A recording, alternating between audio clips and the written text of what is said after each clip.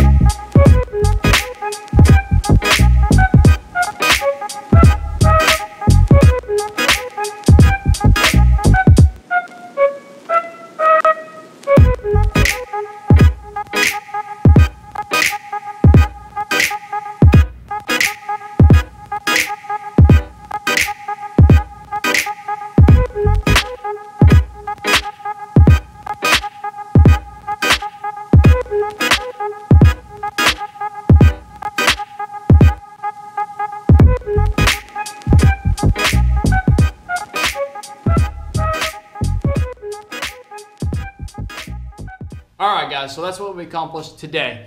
We uh, sanded out everything.